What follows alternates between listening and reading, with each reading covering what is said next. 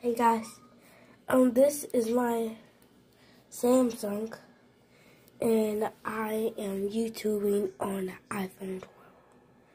I found one for like zero dollars. Is it crazy?